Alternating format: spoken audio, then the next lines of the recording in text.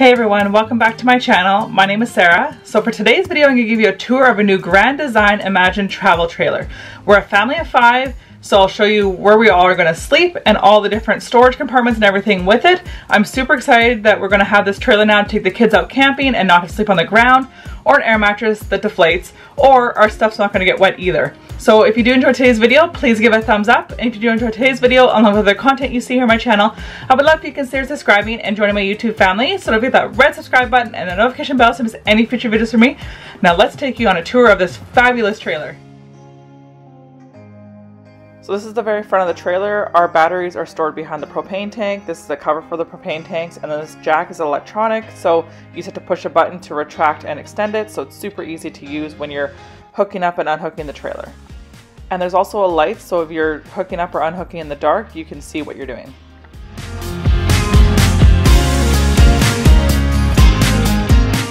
There is also an awning that goes from the door all the way to the back of the trailer, so that gives us really good coverage, but I can't open it right now because we're too close to the trees. Our hot water tank is in the back here, and then there's a ladder that we can access the roof if we ever have to go up there and check for anything. We plug in the electrical cord on the back, and then the side is where we fill up our fresh water. I love how easy these stairs are to bring down and they're really solid as well.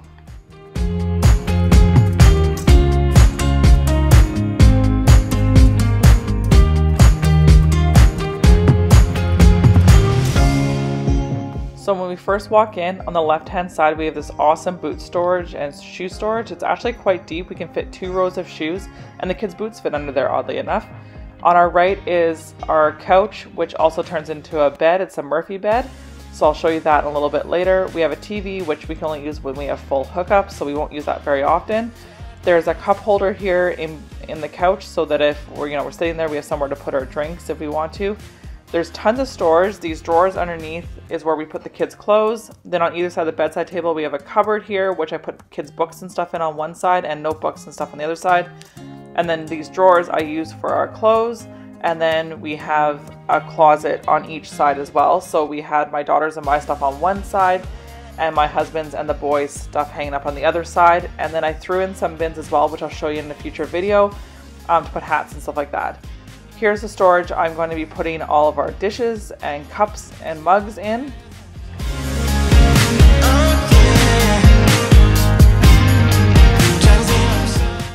About the microwave is this little storage area. There's only a little bit of a lip, so I wouldn't put anything up there, maybe saran wrap, aluminum foil, that sort of thing. We do have a microwave, but we have to be hooked up to full hookups or to our generator to use it, so we probably won't use it very often. I'll probably put bread in it. Um, then here we have a nice glass top to cover and protect our stove when we're not using it. And it's a three burner gas stove, really easy to use. I really quite like it. And you can lay up these knobs as well, just to add a little ambiance if you want or whatever. And there's also an oven, which will be quite handy if we ever want to, you know, make chicken nuggets when we're out of town. Or when I was a kid, my mom used to make brownies when we were camping. So that was a nice bonus. There's a nice big drawer under here for pots and pans. So that's going to be really nice to have as well.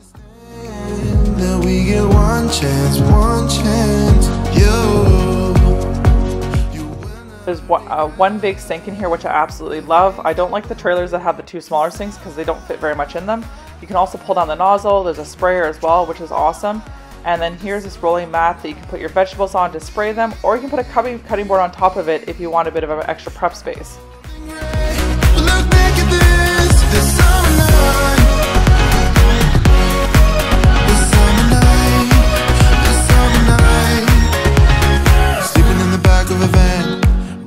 I love the looks of the counters and all the finishes of the cupboards. I just think it looks really, really nice. So down here I have three additional drawers so I can put a lot of cutlery in there, knives, cooking utensils, and that sort of thing in here. And then below the sink we do have a cupboard with a shelf so I plan on putting maybe games and uh, some toys down there and then some baking pans and that sort of thing under the sink. And then just above this there's also a bit of a spice rack so you can put some spices and stuff in there as well. And then we have a nice big fridge. It's an 8 cubic foot fridge. So it's a decent sized fridge and freezer. So there'll definitely be more than enough room for us to store all our food when we're camping.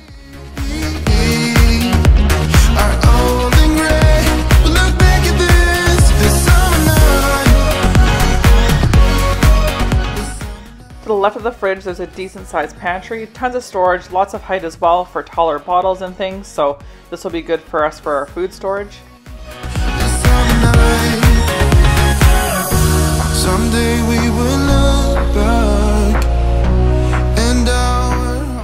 So on the opposite side of the kitchen, we have our banquette. So this table is on hydraulics, so you just open these two, pull these two levers back, and then you can push the table down, move the cushions, and put the cushions on there to make it a bed. There's some cupboards above the table as well for lots of storage. So definitely lots of storage options. I'm actually quite surprised by this trailer, the amount of storage. This is the upper bunk. That back window is our emergency exit. So they do get two windows in the top bunk. There's also a light here as well as two USB ports and I have to say there are tons of power outlets, USB charging ports in the trailer. I'm quite impressed. Then this bottom bunk just has the one window, but again, it's super comfortable. My kids say it's actually really comfortable. Under the bunk beds, there's this great storage. I plan on putting lots in there and definitely maxing out the storage. They have some curtains here for some privacy for the kids in the bunk bed, which I think is really great. Beside the bunk beds is the bathroom, and I'm actually quite impressed with the size of it, considering the size of the trailer. So we have our toilet, we have this towel storage here, so I plan on rolling up my towels and cloths and everything and storing them here. We have a couple hooks on the wall as well, a decent sized shower with a skylight. I plan on mostly storing rubber boots and beach toys and stuff in here. Um, but it's a decent sized shower if we did want to use the shower. There's a couple great shelves here to put bottles of shampoo, conditioner, soap, and that sort of thing. Under here, I don't know what I'm going to do yet, but I definitely want to put some type of drawers or bins or something under there. There's a sink, and then we have this medicine cabinet above here. So this bathroom actually has a surprising amount of storage. I was actually quite impressed. And then we have this huge window. There is a blind, so if you need some privacy, but I love the natural light it brings in. So that's really great. I'm actually overall really impressed with this bathroom at the storage.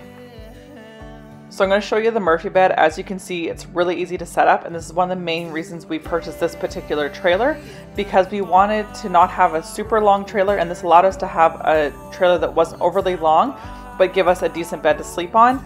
So there's this blue light that to add for ambiance, I guess. I don't really know. And then above our bed is a bit of a shelf. So I'm gonna put like blankets and stuff up there, nothing too heavy, but stuff that's easily storable up there.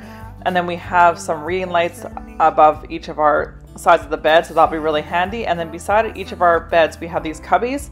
So we can put our phones, our glasses, a book if we want in the evening, plus there's some USB chargers and power outlets, so that's really nice as well. The Murphy bed is also super easy to put away, so once we get up in the morning, we can put the bed away, and then we have more space, and then we also have a couch as well. So this is our pass-through storage at the front of the trailer.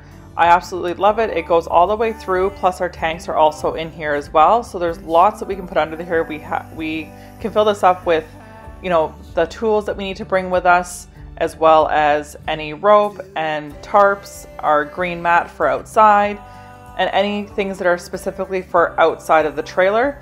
Here's where like our water hookup is, a cable hookup if we're at full hookups, as well as our um, battery power to turn them on and off if we're storing it for a long period of time. So all those things are stored under there.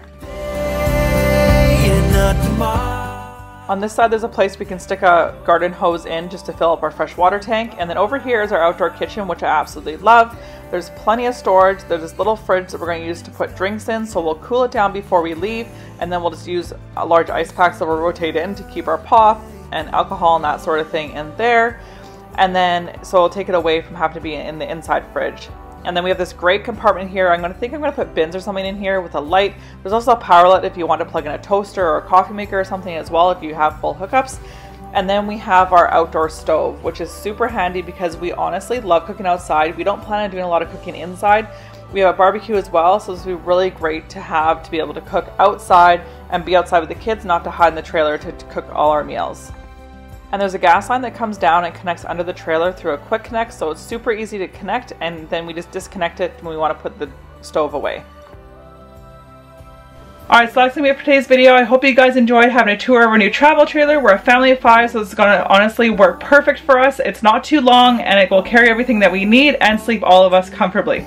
If you did enjoy today's video, please give it a thumbs up. If you enjoyed today's video, along with other content you see here on my channel, I would love if you consider subscribing and joining my YouTube family. So don't forget that red subscribe button and the notification bell so miss any future videos from me.